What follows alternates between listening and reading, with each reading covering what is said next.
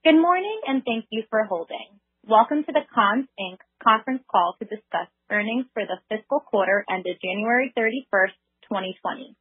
My name is Michelle, and I'll be your operator today. During the presentation, all participants will be in a listen-only mode. After the speaker's remarks, you will be invited to participate in a question and answer session. As a reminder, this conference call is being recorded. The company's earnings release dated April 9th, 2020, was distributed before market open this morning and can be accessed via the company's investor relations website at ir.conns.com. During today's call, management will discuss, among other financial performance measures, adjusted EBITDA, adjusted net income, and adjusted earnings per diluted share. Please refer to the company's earnings release that was issued today for a reconciliation of these non-GAAP measures to the most comparable GAAP measures. I must remind you that some of the statements made in this call are forward-looking statements within the meaning of the federal securities laws. These forward-looking statements represent the company's present expectations or beliefs concerning future events. The company cautions that such statements are necessarily based on the certain assumptions, which are subject to risks and uncertainties, which could cause actual results to differ materially from those indicated today. Your speakers today are Norm Miller, the company's CEO, and Lee Wright, the company's COO, and George Bchara, the company's CFO. I would now like to turn the conference call over to Mr. Nick Miller. Please go ahead, sir. Good morning, and welcome to Conn's fourth quarter of fiscal year 2020 earnings conference call. I want to start today's call by reviewing the rapidly evolving COVID-19 crisis before turning the call over to Lee and George, who will provide additional details on the quarter and our response to the current economic and business landscape as a result of the COVID-19 situation.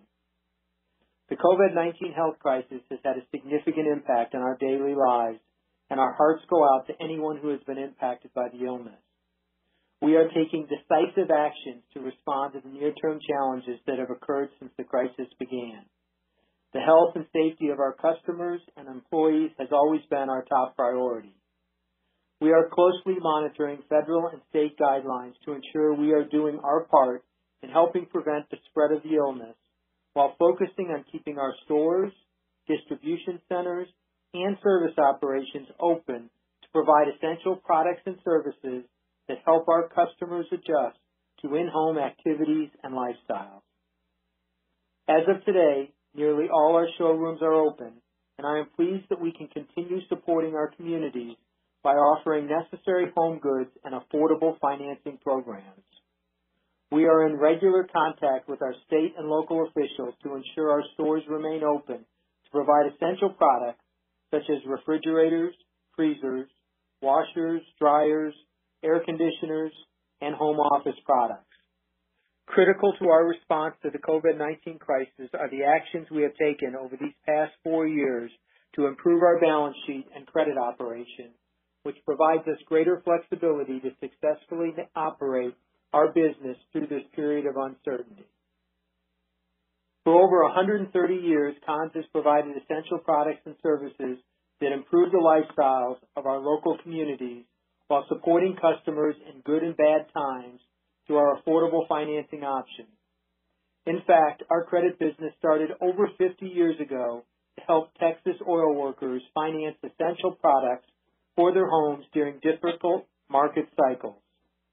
We are proud of the strong relationships we established during challenging periods as our products, financing options, and support help our customers recover and our communities rebuild. I am extremely pleased and grateful with how our team has responded. I want to thank all our associates for their dedication through these uncertain times. Demonstrating our commitment to our associates, I am pleased to announce we have temporarily increased wages by $2 an hour to support our frontline employees through this crisis. In addition, we are temporarily reducing the salaries and compensation for certain business leaders. This includes a salary reduction of 20% for our named executives and Section 16 officers and a 25% reduction in my salary. Throughout our history, Conn's business model has demonstrate has demonstrated its resiliency. While our fourth quarter credit and retail results were disappointing, our near-term objective is focused on navigating the unprecedented challenges created by the COVID-19 crisis. We remain committed to helping our customers, employees, and communities in this time of need. Our experienced leadership team, profitable operating model, and strong balance sheet provides us with the necessary platform and resources to respond to this challenging period. So with this overview, let me turn the call over to Lee, who will provide more details on our fourth quarter operating results and the specific actions we are taking to respond to the COVID-19 crisis. Thanks, Norm. Our fourth quarter financial results did not meet our expectations, and we are disappointed with the performance of our credit and retail segments. During the fourth quarter, we experienced declining credit trends associated with high-risk vintages, an increase in new customers, and difficulties in collection efforts related to the implementation of our new loan management system. As a result, we experienced an increase in first payment defaults, 60-plus day delinquencies, and re-age balances. In addition, higher charge-offs during the fourth quarter impacted our credit spread, which declined to 790 basis points for the fourth quarter of fiscal year 2020 compared to 890 basis points for the fourth quarter last fiscal year. In late March, John Davis, President of Credit and Collections, resigned from the company, and I have temporarily assumed his responsibilities until a replacement is found. The difficulties in collection efforts associated with the loan management system are largely behind us, and we are focused on improving underwriting and pursuing additional programs to enhance our yield. Looking at our fourth quarter retail results, we believe tighter underwriting standards that we announced during the third quarter impacted same-store sales by approximately 3%-4% in the fourth quarter. The challenging market conditions within our consumer electronics category we mentioned on our last call also impacted same-store sales by approximately 6%-7%. In addition, we continue to see some residual impact from Hurricane Harvey during the fourth quarter, as well as the continued impact new store cannibalization has had on same-store sales. Offsetting some of the retail weakness we experienced in the fourth quarter were strong sales of appliances, accelerating e-commerce sales, and the contribution of new stores. I am encouraged that we were able to maintain retail gross margin above 40% for the fourth quarter and full year, despite lower retail sales. While our fourth quarter retail and credit results are disappointing, we remain confident in our long-term opportunities. We are committed to the previous growth strategies we have communicated over the past several quarters, which includes growing our store base, increasing our e-commerce sales, expanding our product categories, and leveraging our credit offerings. However, over the near term, we are adjusting our priorities to respond to the COVID-19 crisis. Let's look at the actions we are taking in more detail. We entered this challenging period in a strong financial position. As our near-term priorities adjust, we have revised our fiscal year 2021 store expansion plans and now plan on opening between six and eight showrooms this fiscal year, which is a reduction from 16 to 18 showrooms we previously announced. We have also decided to delay any new showrooms associated with our future Florida distribution center to next fiscal year. From an operational standpoint, in-store shopping hours have been temporarily reduced across our store base to provide flexibility for our employees and to allow more time for additional cleaning within our showrooms. We are closely monitoring CDC and federal guidelines promoting a safe and healthy environment for our customers and employees. In addition, as required in certain jurisdictions, we are limiting the number of customers in our showrooms at one time and practicing social distancing. Meanwhile, the investment we made throughout fiscal 2020 to our e-commerce, digital, and mobile platforms have played an important role in our ability to interact with customers more effectively while improving our online user experience and providing customers with important updates and account access 24 hours a day. As customers adapt to in-home lifestyles, we have recently experienced an increase in demand for essential home appliances and home office products, which have partially offset weaker demand for more discretionary categories like furniture and mattress. From a credit perspective, the lessons we have learned from past disasters has provided us an operating framework to quickly respond to customer, operational, and performance issues. For example, we utilize third-party collection companies with assets around the world, which will enable us to quickly increase capacity as the volume of delinquencies rise. In addition, many of our internal collectors and third-party resources can work remotely, which enables us to continue to operate this important function. To control delinquencies and charge-offs, we have implemented a series of underwriting changes starting in March to remove high-risk applicants, selectively increase down payments, and lowered credit limits to improve performance of loans originated during this period. The investments we have made in our credit platform allows us to actively monitor portfolio trends, and we will continue to evaluate further underwriting changes to manage risk based on performance indicators. Finally, we have launched a number of payment relief programs to help customers through the hardships they are facing as a result of the COVID-19 crisis. To conclude my prepared remarks, while we made a lot of progress during fiscal year 2020 and saw our full-year credit spread expand to 920 basis points, we experienced challenging retail and credit results during the fourth quarter, and we are disappointed with our recent performance.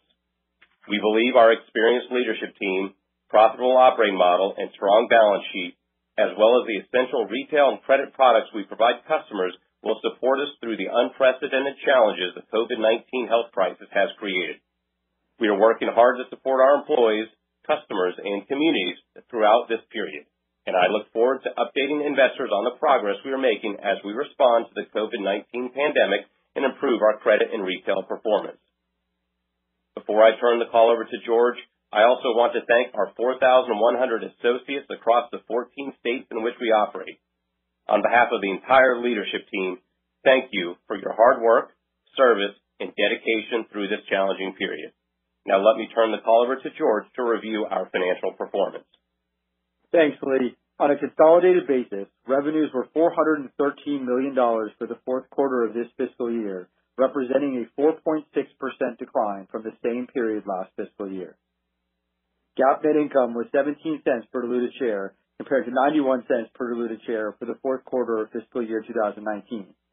On a non-GAAP basis, adjusting for certain charges and credits, net income for the fourth quarter of fiscal year 2020 was $0.20 per diluted share compared to $0.96 per diluted share for the same period last fiscal year. Adjusted EBITDA was $35.8 million, or 8.7% of total revenue for the fourth quarter, compared to $67.7 million, or 15.6% of total revenue for the same period last fiscal year. Reconciliations of GAAP to non-GAAP financial measures are available on our fourth quarter earnings press release that was issued this morning. Looking at our retail segment in more detail, total retail revenues for the fourth quarter were $315.3 million, a 7% decline from the same period last fiscal year. Retail segment operating income was $35.7 million compared to $54.7 million for the same period last fiscal year. The decline in retail segment profitability was primarily a result of lower retail sales and higher SG&A expenses associated with a greater number of new showrooms and additional investments we have made to support our growth. Turning to the credit segment, finance charges and other revenues were $97.7 million, up 3.8% from the same period last fiscal year. The credit segment loss before taxes was $28.6 million compared to a loss before taxes of $16.2 million for the same period last fiscal year.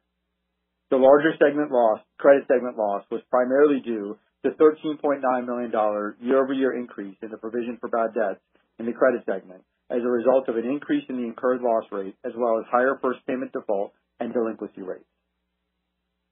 With this overview on our fourth quarter financial results, I want to discuss our current financial situation and the actions we have taken in response to the COVID-19 pandemic.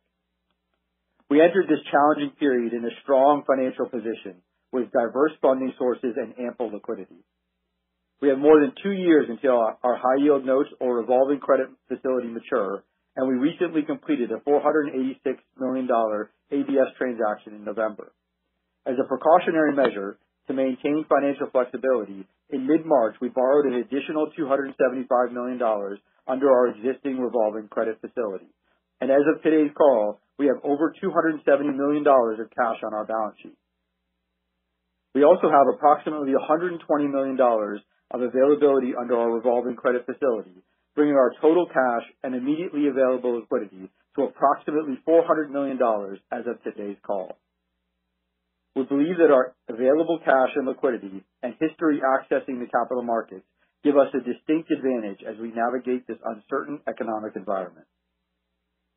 From an investment and operational perspective, we are delaying or eliminating certain non-essential capital expenditures, more aggressively managing working capital levels, and cutting SG&A expenses. For example, related to capital expenditures, we have significantly reduced the number of new showrooms we plan to open this fiscal year, including delaying our Florida expansion. It is important to note that our stores remain profitable even with significantly lower revenue as a result of the variable cost structure of our retail stores and high retail gross margins. On average, our showrooms break even with a reduction in retail revenue of nearly 60% from fiscal year 2020 levels. We believe that our retail operating model provides us with additional flexibility to navigate challenging economic periods, including most recently during the 2008 and 2009 recession. We also expect to benefit from several provisions in the recently passed CARES Act, including accelerating certain tax deductions, utilizing net operating loss carrybacks at higher tax brackets, and delaying the payment of certain payroll taxes. In addition, the CARES Act has a number of unemployment and employer benefits that will help provide temporary relief to many of our customers. As a note, as you can see in the press release that was issued this morning, we have revised our unaudited financial results for the third quarter of fiscal year 2020 to reflect the correction of an error.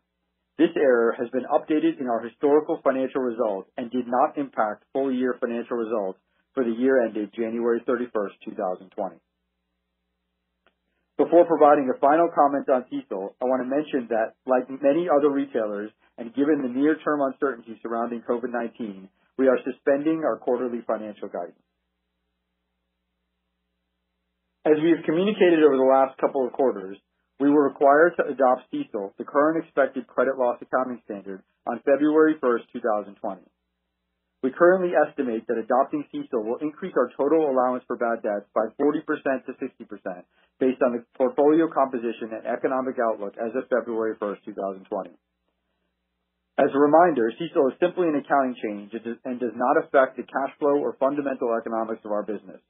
However, we believe that the combination of adopting CECL and the economic uncertainty surrounding COVID-19 will increase the variability of our provision for bad debts in the future and could impact quarterly segment profitability as a result of higher provisions for bad debts. With this overview, Norm, Lee, and I are happy to take your questions. Operator, please open the call up to questions. Thank you. We will now be conducting a question and answer session. If you would like to ask a question, please press star one on your telephone keypad. A confirmation tone will indicate your line is in the question queue. You may press star two if you'd like to remove your question from the queue. For participants using speaker equipment, it may be necessary to pick up your handset before pressing the star keys. One moment please while we poll for your questions. Our first question comes from the line of Rick Nelson with Stephens. Please proceed with your question. Thanks. Uh, good morning. I know you don't have first quarter guidance, but uh, if you could speak to anything that you're seeing. You know, we're two weeks uh, to quarter end in terms of sales, you know, the credit book delinquencies before and after the COVID outbreak. Sure, uh, Rick. I'll start on the same-store sales trends, and then Lee can touch on the credit side of the house. On the same-store sales, prior to the the coronavirus hitting, um, we were seeing same-store sales trends had improved from the fourth quarter trends. Um, Once the virus hit, Uh, we saw modest improvement from that trend initially in the same-store sales, but a significant mix shift um, away from more discretionary purchases, if you will, furniture and mattresses, and towards uh more essential purchases, appliances, home office products. In the last several weeks, um, I will say it's been fairly volatile, but um, we've seen same-store sales settle in at approximately down 30%, um, driven by several factors. Obviously, uh, as we mentioned, our reduced hours in our showrooms. About 60% of our stores have limited occupancy of how many customers and/or associates can be in our stores at any one time. Uh, also, as Lee mentioned, uh, it was about a month ago, we started a variety of credit tightening efforts in anticipation of um, credit pressure uh, with the coronavirus. and uh, we're estimating that that impacted about 16, 15 to 16 percent of sales, at least the underwriting changes that we've done to this point. We continue to examine the portfolio on a daily basis and determine um, you know, and and and and be comfortable with where uh, where our underwriting is at. Um, the customer traffic in the stores are down slightly more than the same-store sales trend. Um, as customers are coming into the stores from an intent to purchase standpoint, it's probably at a higher level uh, than it typically is. Um so we're converting more of the customers that come in. Applications online are up dramatically uh, year-over-year uh, by 30% plus. Um, I will say the dynamics are changing uh, by the day and by the week. Uh, as I said earlier, a high degree of variability. For example, the shopping patterns are very very different than what they were pre-coronavirus. Um, during the week, we get much heavier traffic uh, than we do on the weekends. The weekend, the traffic has dropped off dramatically pre-coronavirus and stronger patterns during the week, relatively speaking. So um, you know, it's a very dynamic environment, one that we're obviously monitoring on a regular basis. Um, we feel fortunate that 95% of our stores are open um, and able to operate. Um, and our associates have responded, I can't stress enough, in such a manner to be able uh, to safely serve our customers, take care of our customers with these essential products that we provide our communities. And the way they've responded has been uh, has been pretty remarkable and a testament to the quality of the workforce that we have. So, uh, do you want to touch on the credit side, Lee? Yeah, Rick, on the credit side, obviously, Uh, you saw the increased our provision because our allowance was increased uh, for the fourth quarter uh, due to what we were seeing in the portfolio uh, for future charge-offs that we believe are going to roll through. So we saw that. I will tell you, we were having an excellent tax season. The economy was was humming along prior to the complete outbreak of the COVID-19 pandemic.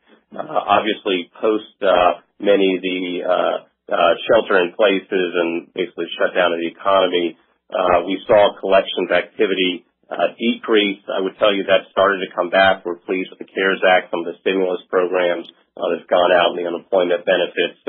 As Norm said, one of the benefits of having our showrooms open is that 25%-30% of our customers have historically made payments in our showrooms.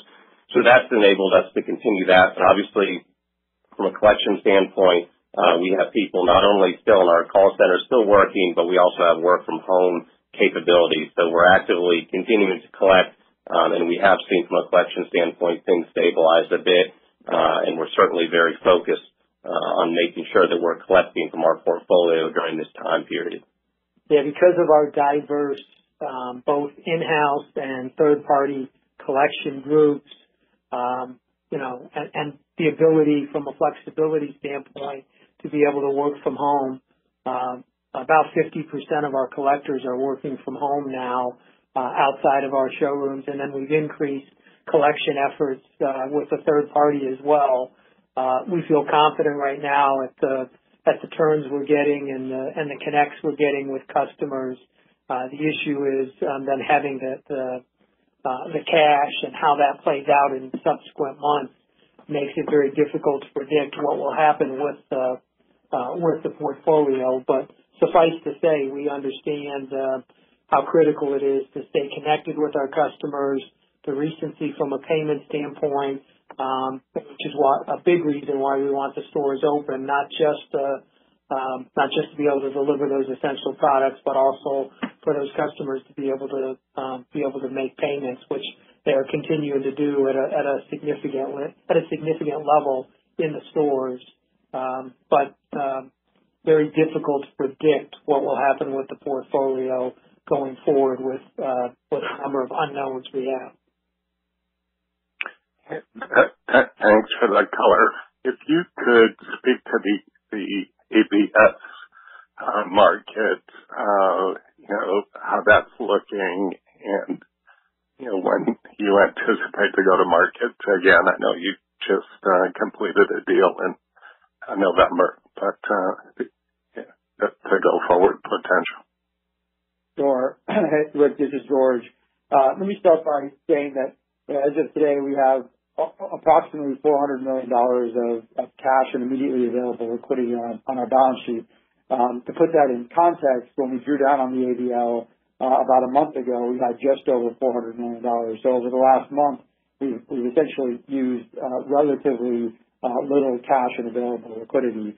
Um, to answer your question specifically, uh you know a few weeks ago, the ABS market was dried up completely. Now we're starting to see prime auto deals get done, and more activity in the ABS market. But as we sit here today, um with $400 million of cash and available liquidity on our balance sheet, we've got enough liquidity to last us uh for the near term.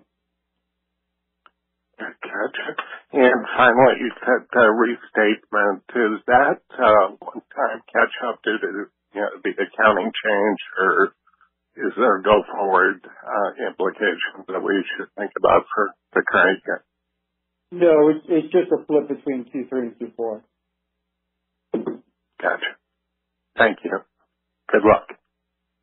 Thanks, Rick. Thank you. Our next question comes from the line of Kyle Joseph with Jefferies. Please proceed with your question. Hey, good morning, guys. Uh, thanks for answering my questions and for all the color you provided, um, given the volatility we've seen recently. Uh, first, uh, George, just just going back to CECL. You know, we've seen some headlines about potential relief uh, related to CECL. I think it ties more to banks. Are there any potential options to delay CECL, or is it going to go in into effect kind of consistent with the color you gave us last quarter? No changes. Unfortunately, the language in the CARES Act was specific to Uh, depository institutions, and um, there were some conversations about it being broadened. But as we sit here today, uh, our intention is to adopt CECL consistent with the requirements in the first quarter. Sure. And then just uh, one follow-up from me related to to credit in the post-CECL world.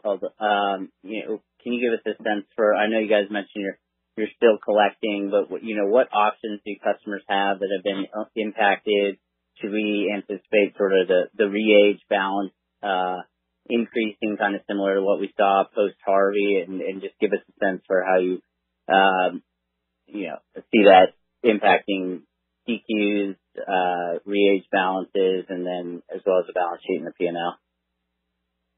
Yeah. Hey, Kyle, it's Lee. So obviously it's still early. We do have uh, relief programs for our customers. Obviously, we want to balance the fact that these are ongoing customers with us. We want to show compassion during a time period of great financial stress in their lives. At the same point, obviously, uh, we've extended credit and need to get paid. But we do have uh, relief programs for our customers.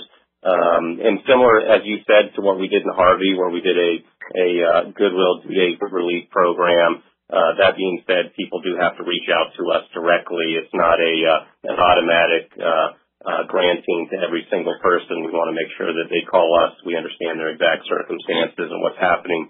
Uh, but we do have programs uh, for them uh, to provide them relief. How that's going to roll through, obviously, we've got to watch very carefully. It's still pretty early for us to see um, what transpires there. But clearly, as Norm talked about, we're very focused on collections. Uh, We understand the importance of it, and we have a lot of different ways and means to stay recent with our customers and still get some cash, but also show the appropriate compassion to them. And in addition to that, Kyle, we also have some programs where the customers are paying a certain amount of cash um, in an effort to to keep that recency with them. We are giving them some benefits from a concession standpoint to to ensure that we're staying connected there and um, um, you know keeping that cash flowing in. But again, all of these, as we mentioned, are driven by the customer. We're not doing anything unilateral across the portfolio. And we will track this going forward, um, both COVID um um uh forbearance programs and not, to be able to hopefully give some color on what's happening with the forbearance program part of the portfolio as well as the remainder of the portfolio. Appreciate that. Thanks. One last one from me, too. Uh, you know, given um COVID and the economic economic disruption we've seen, uh, and going back to the last financial downturn, can you give us a sense for for, you know, how the financing options change and sort of penetration rates of of the third-party financial firms you guys use or third-party financing firms you guys use? Yeah. Hey, Kyle. It's Lee again. Well, look, clearly it's one of the benefits that we have as a retailer, the fact that we have a broad spectrum of of financing options for our customers. If you want to pay cash or credit, that's fantastic. Uh, Obviously, we have Synchrony with some best-in-class, no interest financing options to our higher um, uh, credit score customers. And then obviously we have our core Conn's credit programs for our customers. And then to the extent uh, that it makes more sense, there's a lease-own option. So, unlike a lot of other retailers, we have the full spectrum. I will tell you what we have seen and what we talked about in our investor decks and other investor meetings is during a time of stress, what we do see is we see uh customers start to fall somewhat. So to the extent that they may have been able to use cash or credit or use alternative means of financing, they may fall into our bucket. So we have the ability to provide them Conn's financing, or if they fall out of us, we've got lease-to-own. So um I what we have seen, and Norm mentioned, the number of applications that have come to us via web has been up Uh, a very large amount. So we've seen people looking for credit. Obviously, they understand uh, the importance of credit, and that's one of the beauties of our retail and credit model put together. And and as you know, Kyle, being in the credit space um, for a while and understand that um, as in 2008, 2009 with the subprime market, um, you see a tightening at the higher end. So that actually creates, ultimately, as you work through the environment, typically some sales opportunities fall into our um uh into our core Conn's credit. But as Lee mentioned, we having credit options across the spectrum enables us ultimately to serve those customers wherever they fall on the spectrum. Got it. That's very helpful. Thanks very much for answering my question. Thanks, Kyle.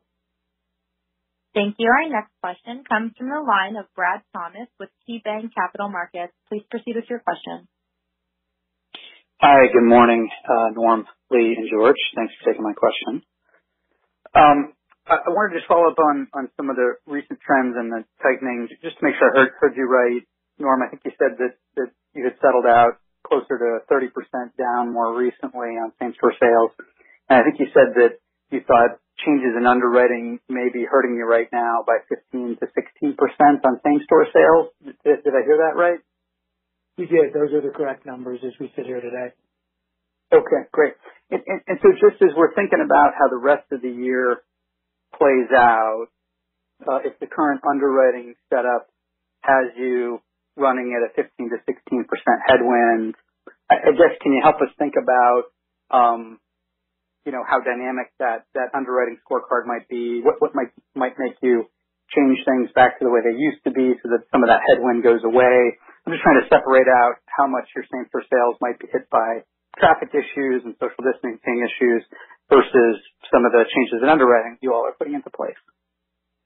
No, I understand. Uh, what I would say, Brad, is uh, I wish uh, um, Uh, we had uh, more concrete uh, information we could give you in projecting what's going to happen. I will tell you, we look at we're looking at the underwriting, our first payment defaults, what's happening, early delinquency trends in the buckets on literally a daily basis, cash collected. Um so those changes that we've done, that 15%-16%, they've been in three or four different um, iterations where we've done a variety of things, credit limits,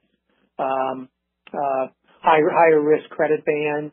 And, and We're doing that based on what we're seeing with the portfolio on a daily basis. So as we as Lee mentioned, we've seen the portfolios come in a more stable place here recently from a collection standpoint. So that gives us encouragement with uh some of the stimulus things that are going on. And frankly, as we connect with our customers and they understand the importance that we provide, because in essence, although we're not a line of credit, customers understand from doing business with us through the years that when they pay us and they're in good stead with us, um, they have the ability to come back and borrow from us in the future for these essential products and their and services in their homes. So um, keeping that connectivity with them and, and the importance for the customer to continue to pay us so that we can continue to serve them in the future are important talk-off points for our collection teams and our collection efforts that as we see that stabilize, that will ultimately determine what we will do with the portfolio going forward. But for us to predict that right now, uh, very difficult, if not impossible to do. Gotcha. That's helpful color. Um, and then I guess uh, just a question that that we've been getting about the business is how to think about you know, the puts and takes on cash flow and and liquidity. And it's it's clear that you all are being proactive about making sure you have ability to to um, you know access your revolver and liquidity. Um, you know, if we were to continue to see the sales running down at this 30% level, I guess could you help us give us give us some Uh, color around what sort of levers you can pull in terms of inventory reduction or perhaps tightening even more so that you uh, uh um you know uh, don't need cash as much? Um, any more color around that would be helpful. Yeah. Hey, Brad, this is George. I think the first thing that's important to point out is that the liquidity dynamics of our business are different from other traditional retailers. When sales slow for us, we continue to collect on receivables on our portfolio, but we're purchasing less inventory. So it actually is uh, positive, can be positive from a liquidity standpoint in the short term. Uh, in addition to that, um, we've taken actions to uh, improve our working capital levels and cut expenses. So the combination of those two things are the reason why our liquidity has basically remained unchanged in the last month since the coronavirus Uh, pandemic uh, started. And it's an area, Brad, that we continue to look at from an expense standpoint, uh, from a capital standpoint. You know, we're um, now our stores are open. Our collection centers, are we're still delivering into homes. Our service teams are still out servicing our products um, if they break down. Um, so our organization, although a number of folks are working remotely from a headquarters standpoint, in the field, we're we're you know, our our objective here is to get whatever revenue we can to fill the needs from our customers and continue to be able to collect and service our customers. Weather through uh you know, through that way we'll uh will mitigate our need to have to take more draconian measures, is our hope on an expense standpoint. Got you. That's very helpful. Thank you all so much, and good luck here. Thanks, Brad. Thank you. Our next question comes from the line of Brian Nagel with Oppenheimer. Please proceed with your question. Hi, good morning. Good morning, Brian. Thanks for taking my questions, and I appreciate all the color so far. So I had a few topics I wanted to dive into here. Um, first off, and I guess this is mostly for Lee. Uh, We talked about in the press release and in prepared comments, the the issues with the loan management system. I just want to understand better what happened there, and then probably more importantly, is that now is is that issue or those issues now corrected? Yeah. Hey, Brian. Good morning. Um so just not to go into great detail, but to add some color. As you know, we implemented two new systems last year, one of which was our loan management system, where we made a change. Uh the implementation of that uh created some difficulties from you know as we looked at our ability uh to see and interface with our actual collection system and the visibility that we had was more muddled than we would have liked. So from a nimbleness perspective and ability to act as quickly as we would have liked, we weren't able to do that. That was what caused some of the issues that flowed through and uh that we talked about on the call. Those are predominantly, at this point, um you know we we those have been corrected, and we have the visibility we need to be able to effectively collect at the rate that we would expect going forward. Okay, got it. Then the second question, um, you know, obviously with with the COVID crisis, there's a lot a lot of moving parts here. But before we were talking, before the crisis, we were we were discussing and talking a lot about the dynamic within the TV business. In that the more functional, higher priced TVs have come down eh, have come down in price significantly. and that really impacted uh, the value, so to say, uh, that Conn's added in that market. Again, lots going on, but how should we think about that that dynamic now? Is that beginning to correct itself, or is this COVID crisis potentially lengthen that that issue as TV manufacturers maybe are not introducing as quickly as they could have newer, more functional TVs? Yeah. Uh, Brian, what I would say is, I don't know if it's lengthened it. It certainly has exacerbated uh, the issue. Um, with the latest NPD data that was out uh, from two weeks ago, was showing ASPs on from a national standpoint on TVs were under $300, which it has never. I mean, that's the lowest point it has ever been. Because as what's happened is TV units are actually up slightly, um, but ASPs across the board are down, and they're down even at a greater extent at the higher value TVs because Walmart, Costco, uh, the big box guys are open. That's where and the online, um, that's where uh, a significant majority of the TVs are being purchased as we sit here today. So uh in the absence of 8K, you know, which is coming out this year, and and some other new functions and and functionalities TV-wise, depending on how that plays out with the COVID-19 and gets introduced into the stores, I don't expect that to abate or to improve in the short term. Um but we believe longer term, this is just the cyclical nature of the the TV electronics business that's occurred in the past before. You know, my assessment would be that the COVID-19 crisis is not going to help us in that area.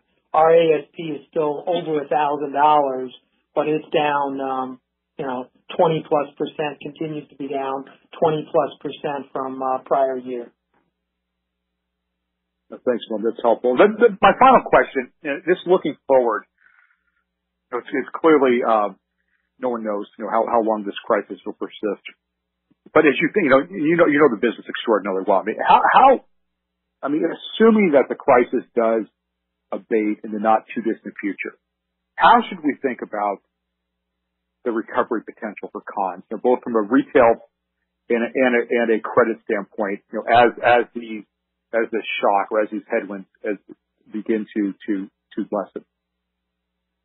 Yeah. I would say, um, on the credit side first, there'll probably be more stress in the credit portfolio initially, depending on um, you re-ages and the performance of those customers. If the employment comes back um, relatively quickly, and you know, one one of the things about our our core customer at least is, you know, they make about uh, around $47,000, $48,000 a year, and um, they live in recession all the time, basically. They live paycheck to paycheck. Interestingly enough, even when we were in the very early stages of the COVID and and the shelter in in place orders were had not been issued yet, but you were starting to see the media pick up in early March, we were already seeing our cu- customers cut back from a tax season standpoint, um, and, and reserving cash because they understand how to do that very very well, and they're very very nimble in that environment. So, um, you know, in the short term, the the credit portfolio is what will be, you know, if if we have stress in the business, that's where it will come from. We believe ultimately it will create you know, more opportunities from a retail standpoint as credit gets tightened by those higher end in the spectrum. And now with our full credit offering from GE all the way down to lease to own, you know, uh, we believe it will create more opportunities ultimately from a retail um, uh, sales opportunity uh, going forward as as this abates. Got it. Very helpful. Thanks again, and best of luck here. Thanks, Brian. Thanks, Brian. Thank you. Our next question comes from the line of John Baugh with Stifel. Please proceed with your question. Good morning, and thank you for your uh, time and detail. Uh, I was wondering if we could maybe start with with John Davis' departure. He was an important hire. You built up a team around him. Um, what you know, in hindsight, um, I'm just trying to get some color for either what went wrong with his decision making or execution versus, you know, external factors of which there are of course many. To start there. Yeah. Hey, John, it's Lee. Good morning. Um, look, obviously, uh, can't respond directly to his resignation, but clearly, as I said in my prepared remarks, not happy with our credit performance in the quarter, and obviously we increased our allowance as we, you know, foresaw future charge-offs increasing.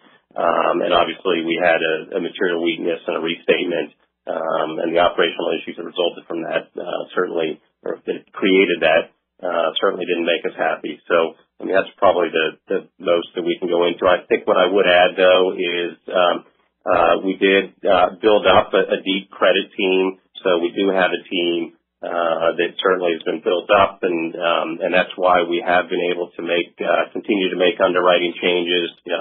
Uh, we continue to make those, obviously, uh, monitor very closely with the team that we have in place. So so you're right. Um, he was very important, um, and he did add value uh, while he was here, but we still have a full team, and obviously we're actively looking for a replacement, and we'll continue to go forward. And obviously, I've stepped into that role and uh, working very closely with the team going forward. And then could you perhaps tell us, um, you mentioned, uh, you know, losses are up, uh, FPDs are up, delinquencies are up. Um, is is there a way of looking at that and saying how much or or all perhaps, probably not, is due to, quote, "new customers," or are you seeing deterioration with existing uh, customers as well? Yes. So John, again, as I said in the prepared remarks, obviously we had higher risk vintages that we had originally originated uh, in the summer, and that was even through Q3. Obviously, we made some underwriting changes in the middle of Q3. All that takes time to bake as it rolls through. Uh, and We certainly have seen an increase in new customers. We've continued to talk about that, and we've always talked about new customers are riskier than than existing customers, and it takes time to sort of settle them out and bake them. Uh, look, from a percent of the overall portfolio at the end of the fiscal year, new customers were 40% versus 38% last fiscal year. Um, and Probably more importantly, what we even saw in Q4 was uh, new customers were approximately 43% uh, versus last year they were 34%. So The new customer mix um, that we saw, as well as the higher risk vintages, and then I talked about the difficulties in the collection efforts related to the implementation of our loan management system all three of those things had caused some issues. And then you overlay with the COVID-19 uh, situation. So clearly we're monitoring very closely. We're working through it. I think we've made the right moves um, from an underwriting perspective to make sure that who we are extending credit to is going to pay us back, even with uh, some of the COVID-19 issues rolling through. Um, but again, uh, I would just tell you we're very focused on, on monitoring all of that. Let me let me highlight two things too, if I could, John. One is just the to amplify the comments that Lee made. The, credit team is in a very different place uh, than it was four and a half, five years ago. Uh, the depth of resources, the quality of the team, the sophistication of the team is very different than it was four and a half, five years ago um, when the credit business was losing a couple hundred, two hundred and fifty million dollars. The, the second piece, uh, uh, the second piece of it is the credit business itself is in a very different place than it was four and a half, five years ago. Um, with that, as we moved to, and in the third quarter saw a thousand basis points of spread, and and even in this fourth quarter with you know with disappointing performance, still at about eight, 790, 800 basis points of spread. Um, we have part of the reason that I've talked about for multiple years that thousand basis points of spread is to give the company the flexibility during challenging, difficult times to weather through uh, things that are outside of our control. And it has put us in a place, even with disappointing results coming out of the fourth quarter, to be in, in a very solid position going forward to weather not only the um, uh, the deterioration of some of the credit performance in the portfolio, but also the COVID-19 uh, pandemic as we weather through that here in the coming weeks and months. Um, thanks for that. And my last question was on the the the lease to own piece, which I think was in a 6% plus range for the January quarter.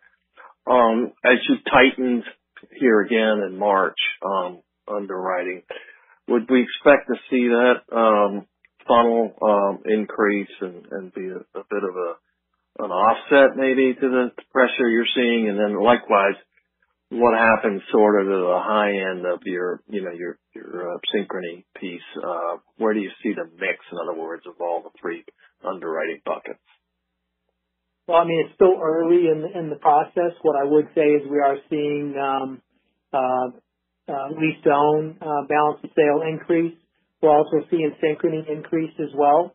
Um, so on both ends of the credit spectrum. Uh, cash and credit is also, people paying by cash and their credit card is also up you know, initially out of the gate as well. So, um, you know, and for us, all of those are like cash customers. So those are very positive from both a cash flow standpoint and a credit portfolio.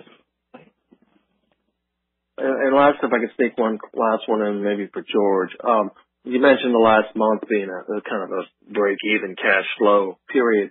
Is there some seasonal unusual benefit from the tax season that makes, if all the other metrics of your business are similar and, you know, the next month, uh, uh, a different cash flow number, or that's a kind of a stable number?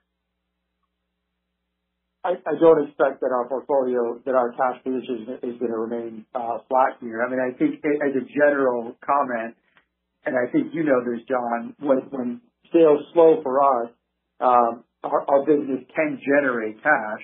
Uh you know, obviously, we're we're monitoring our cash and liquidity position here uh here closely, and we believe that we've got enough cash and available liquidity to last us here in the near term. Okay. Thanks, and good luck in these tough times. Thanks, John. Thank you. Our final question comes from the line of Bill Ryan with Compass Point. Please proceed with your question. Uh, good morning, and thanks for taking my questions. Um, first question, uh, to what extent, if any, have you know some of the states have implemented various collection moratoriums, uh, and if that may be impacting um, your ability to do collections or perform the collections? And related to that, um, you know, uh there's obviously there's a lot of deferrals going on, forbearances and various programs that all the credit companies are offering.